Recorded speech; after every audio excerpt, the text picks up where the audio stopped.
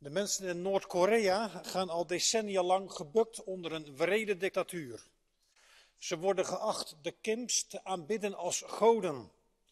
Doen ze dat niet, vertrouwen ze zich toe aan de God van de Bijbel, zoals christenen dat doen, dan verdwijnen ze achter de tralies. Of erger, worden ze gedood, zoals recent gebeurde met tientallen christenen die in het diepste, diepste geheim bijeen waren gekomen.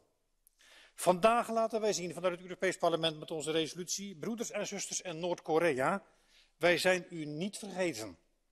Ook al blokkeert uw land iedere serieuze diplomatie over de mensenrechten. Wij roepen Noord-Korea op de in haar grondwet verankerde vrijheid van geloof te respecteren. Tegen de Raad zeggen we, stel aanvullende sancties in tegen de daders.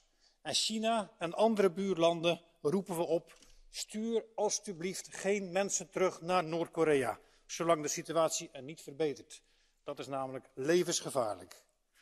Mensen die worden vervolgd vanwege hun geloof moeten op ons kunnen rekenen. Ook in Noord-Korea. Dank u wel. Vielen Dank, Herr Kollege.